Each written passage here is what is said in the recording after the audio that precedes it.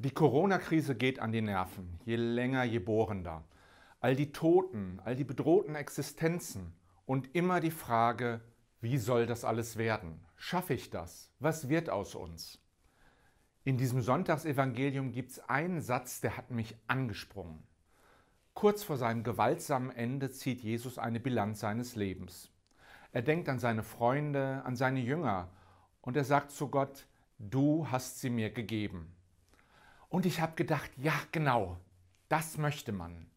Jemandem anvertraut sein, wissen, dass sich einer interessiert und dass man gehalten ist. In all den Problemen und Krisen des Lebens irgendwie gehalten. Das klingt ein bisschen nach Kinderglaube, ein bisschen naiv. Als Erwachsene wissen wir ja, dass es keinen Supermann gibt, auch keinen Supergott, der uns vor Unglück und Not bewahrt. Sonst gäbe es diese Pandemie gar nicht erst.